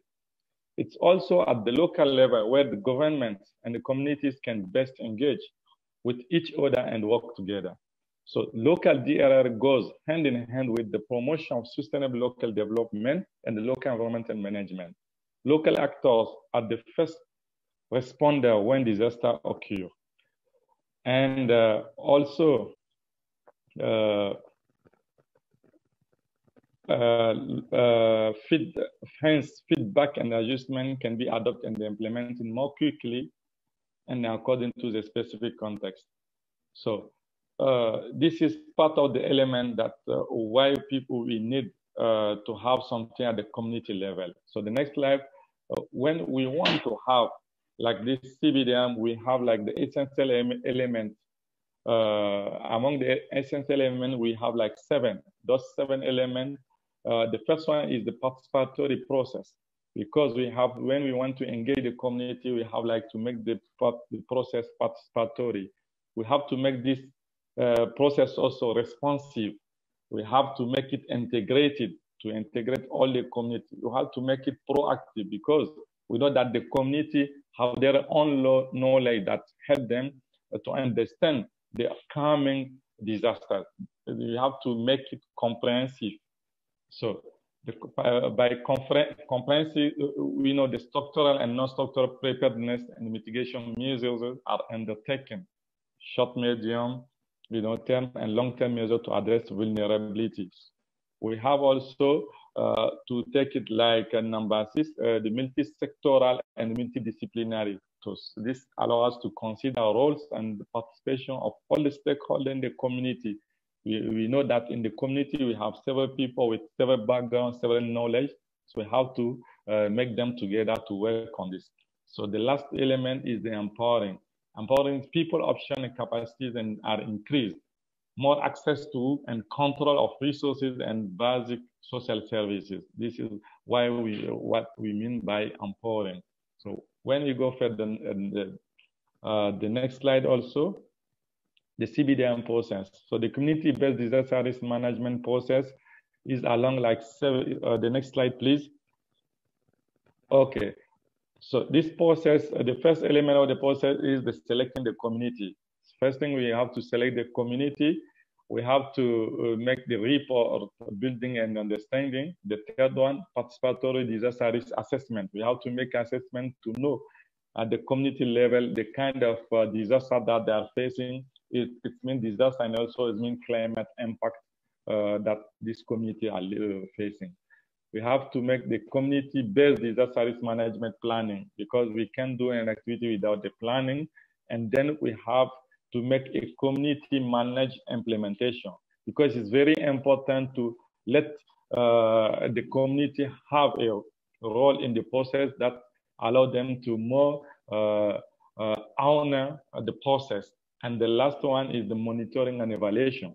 It's also important after this process or during the process to have a monitoring and evaluation plan that allow you to more uh, adjust or to more take in consideration the new coming disaster or new coming situation.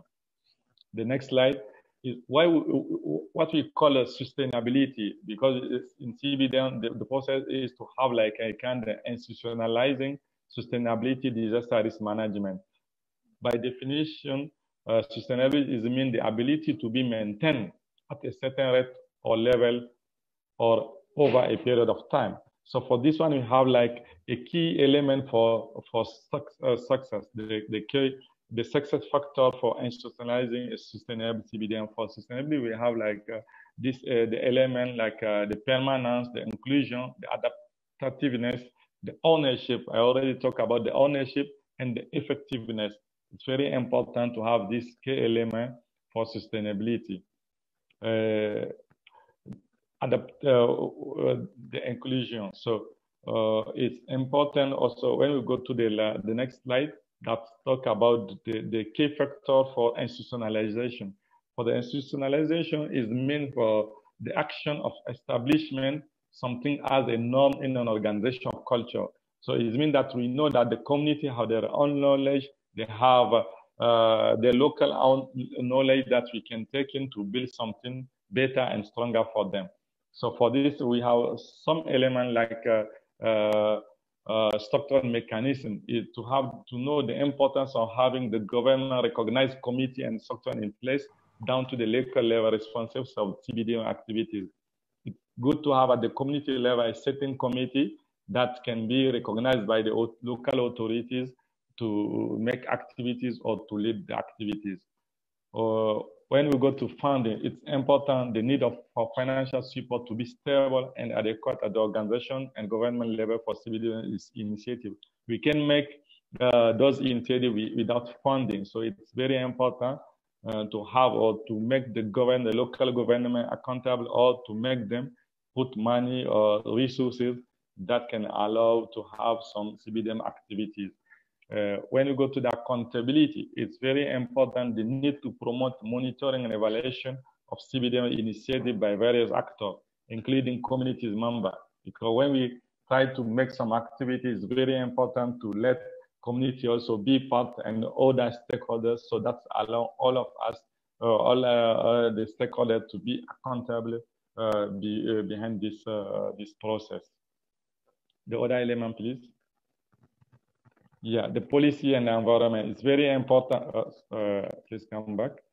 The policy and and and environment is very important to have some policy because we know at the country there are a lot of uh, policies uh, for climate change, for disaster risk management, the Sendai framework, the Paris Agreement, uh, the UN Convention on Climate Change. All those allow countries to develop some policies and also part of some strategy document like the, the, the, the, National Plan for Adaptation, other document. they have several policies. So the need for civilians to be included in the government policy and plan at both national and local level. It's very important uh, to have uh, to make an advocacy for this. And uh, the capacity is very important also to strengthen the capacity of the stakeholder, the importance of including element of technical support to strengthen civilian capacity of different actors. This, this is very important also to take in consideration. So this is, uh, these are the key elements uh, to institutionalize a sustainable CD, CBDM process uh, to fight against climate change and reduce the disaster risk management at community level. It's very important. These uh, are the key elements that uh, I want to share today based on our uh, three years experience program that called CBDM is a kind of program making that we make together with the GNDR, the Global Network for Civil, uh, Civil Society Organization Disaster Risk Management uh, in Africa and, uh, in other countries. So this is part of uh, the key element, the finding during the process of the implementation of this project. The last slide. Okay, thank you very much uh, for your attention. I will be in touch if uh, there are questions about the community-based disaster risk management in the context of climate change issues. Thank you again. Thank you, Sani, and uh, thank you, Shalini, for sharing that. Uh, just let everyone know we don't have uh, Dr. Ranjit Punyavarathan with us today um, due to a sudden um, call. So if anyone has any questions for the speakers, kindly do drop them in the chat. We will be happy to take them forward. Uh, furthermore, please do fill out your registration form. I've linked it on the chat as well. Uh, it's a Google form. It won't take more than two minutes to fill. Thank you very much. Uh, so moving on to the questions, I would now like to maybe request all our panelists, if possible, whoever's on the call to turn on your videos. So we'll have all of y'all in one space. Uh, we did have some questions from earlier that I made note of earlier in the chat. So we had a question from uh, Dr. Nam, uh, Nambi. We, we have uh, some uh, question uh, I am speaking from uh, Bangladesh, uh, Mr. Habibur Talukdar. So, uh, Sensia Madam, we have a question uh, to you uh, that uh, we like to say that Bangladesh Climate and Action Group, there is so gap in their coordination to work together for the disaster risk reduction management both the climate change. And uh, we are work uh, together uh, coordination gap to um, mitigation in climate change disaster risk management. please discuss about it.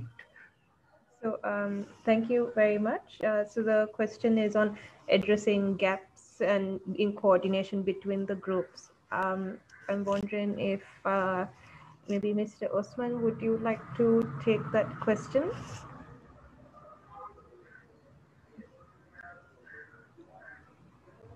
I believe that um, uh, our uh, uh developing uh, countries, uh, they are coordinating together during the negotiation, different among groups under the G77 in order to have a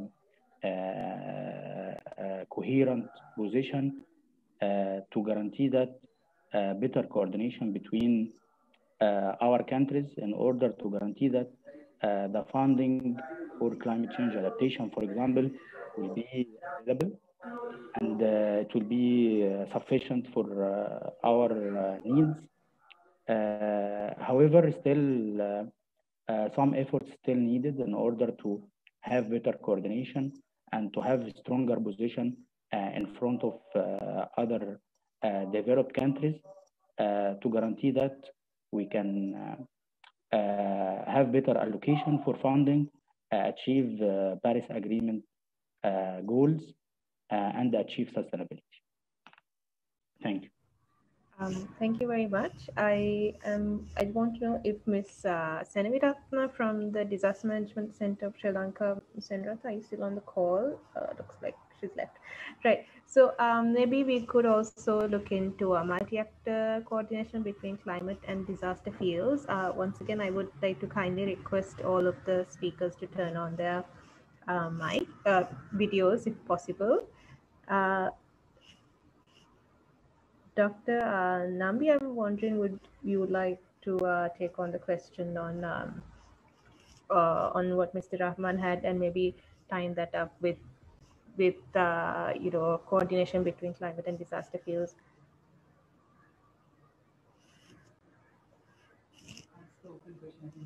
Right. Uh, sorry, Dr. Nambi, you are muted once again. I, didn't get the question. Could you please repeat? Sorry, so the question that Mr. Rahman had earlier was on the, the gap uh, in coordination between groups. And maybe we could perhaps add to that and uh, look at multi-actor coordination between climate and disaster fields. So if you could add to that. Yeah, definitely. I mean, there are certain structures, you know, you can't say that there is not existing. I mean, it depends on the kind of, you know, country you're dealing with and the institutions. Uh, because there are now the national disaster management authorities are established in most of the countries. It might have different forms, but then they, of course, it's true that they are not very connected with the because climate change is a kind of a sectoral issue, as you know. know many sectorals there are silos in terms of handling climate change. There is, a, of course, there are in few countries some coordinating, general coordinating bodies have been created, but it is not very effective because still, you know, that's where the mainstreaming problem also comes through.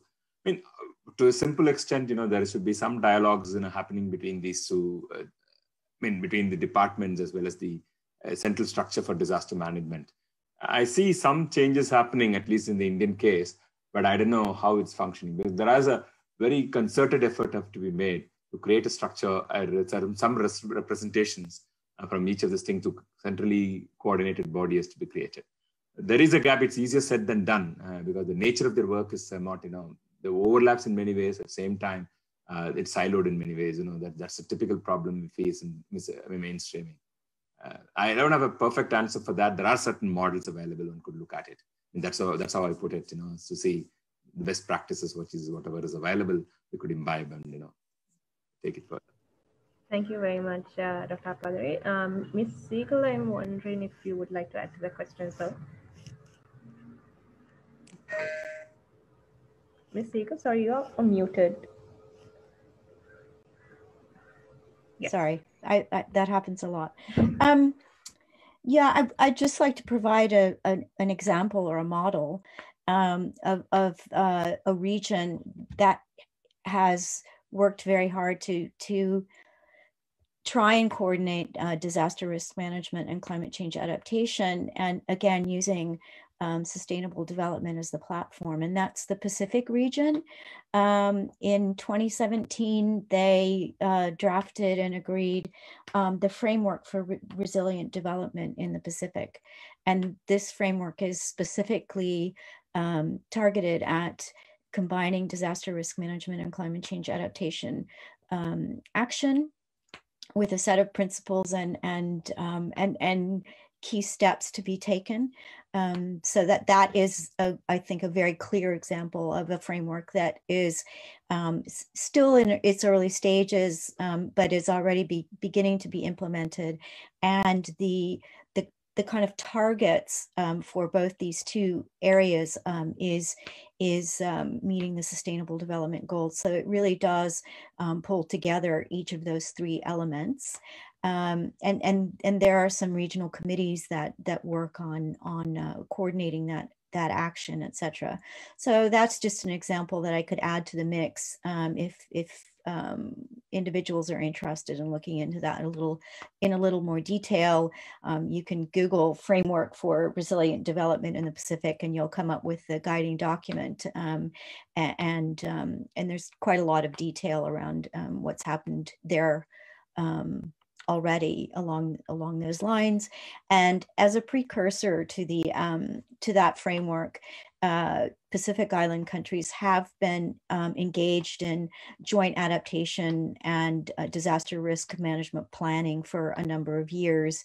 And one of the uh, regional organizations has uh, put together a framework or a template for how to do that planning at the national level. So that's just a regional example that I'm familiar with. Thank you very much, Ms. Siegele. We also have a question uh, maybe. Thanks, Vositha. Yeah. So we also have a question for Dr. Ismail um, that Vositha's asked. Dr. Ismail, are you still with us? Your video was turned on earlier. Right. So uh, Vositha's asked, I believe there are there were similar projects of APN which focused on participatory aspects related to loss and damage. How does APN focus on building resilience at the local level, especially related to climate risk, sorry, risk management in the capacity in the work of capacity building? Yes. All right. Um, so with APN capacity building um, project uh, from uh, the list of projects that we had, um, one is uh, on the post-disaster recovery processes uh, on the flood-affected communities in um, Cambodia and Fiji. And here, uh, wait. Uh, so the uh, just hold on. All right. Um, could I um, get back to you later on on um, this this uh, topic um, on the cap capacity building on the project of the APN? Sorry, there's some glitches on on my screen right now. Sure, sure, sure. That's fine. Um, so I I I do believe there's another question for Ms. Siegele that Vositha's asked uh, on the work of risk management at the ExCom. Um, would you be able to answer that very quickly? Um, certainly, I'll, I'll be quick. Um, uh, well, uh, pub, uh, NGOs and, and other observer organizations may attend um, ExCom meetings. Um, generally, the the um, expert group meetings are are limited to those experts on those groups, but the information coming out of those uh, group meetings is always published on the UNFCCC, um, and certainly input um, from civil society organizations and, and other observer organizations involved with the work of the UNFCCC, and I and I know that SLYCAN is certainly um, the SLYCAN Trust is that that that there are ways of of um, of, participating in in those activities, um, and and uh, and certainly even providing written inputs um, to the ExCom or to to their um, to their expert groups uh, through the secretariat. So I would I would propose that that would be the best way of of being involved.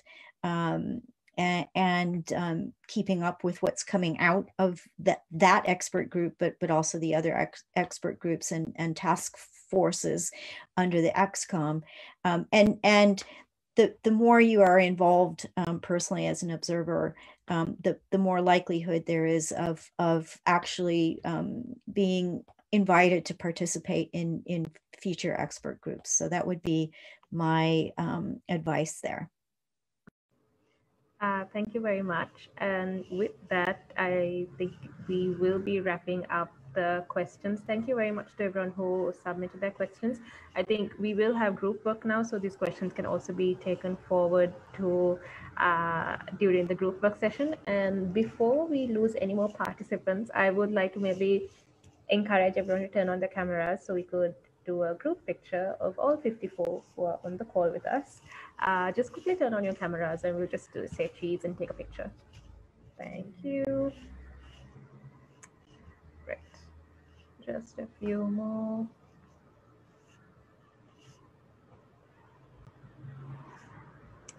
Right. So everyone, you could give us your best smile and we'll take a few screenshots. Whoever's taking screenshots, please remember there's a page two as well.